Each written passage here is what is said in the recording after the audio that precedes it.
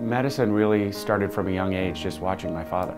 Uh, he was a general surgeon in a small town and he would have to leave and by you know, baseball games or middle of the night or at dinner.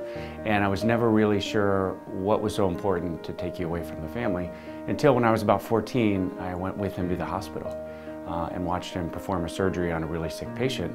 And from then on, I knew I wanted to sort of help people like he, he could do. Well, I knew surgery was the type of medicine I wanted to practice, and then the subspecialty of ENT um, just sort of combined adults with kids. It's a mix of primary care, but also surgery on an acute level when it's necessary. Yeah, I think what I've learned over the years, and I've been in practice uh, over 15 years, what I've learned is every patient is unique.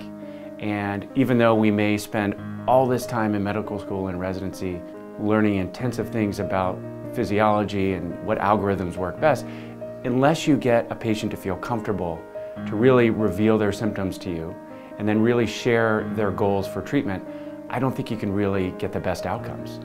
And I think that's a mixture of working at it for many, many years, uh, but also being a patient myself and being in those shoes and realizing that, hey, you know, if, if you cut someone off even a few seconds early, you may miss something that may dramatically change the outcome.